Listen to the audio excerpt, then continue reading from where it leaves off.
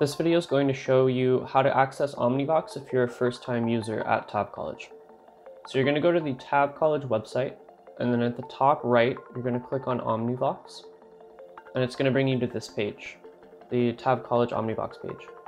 It's very important to note that you're going to need three things. You're going to need your TAV College student ID, you're going to need your permanent code, and you're going to need your date of birth.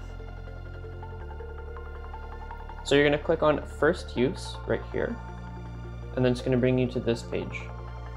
It's very important that you read all of this information before you do anything. So you're going to go down here, enter your student ID number,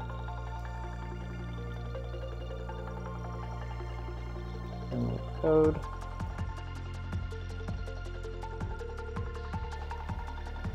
And my date of birth. And then you're gonna enter the security code here. 27157. Click on validate. And it's gonna ask you a series of questions. And then click continue. Here you're gonna set a password.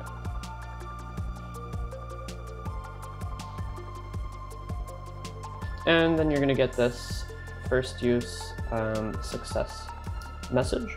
Then you're going to click continue. Now, you're going to get to this page. So you can either you can confirm your email address, which is very important. Or you can proceed right to Omnivox, but it's best to confirm your email address. So we're going to put in our email address here and just get this process over and done with. Um, the confirmation link is valid for 24 hours. So proceed to Omnivox. And you should come to this page.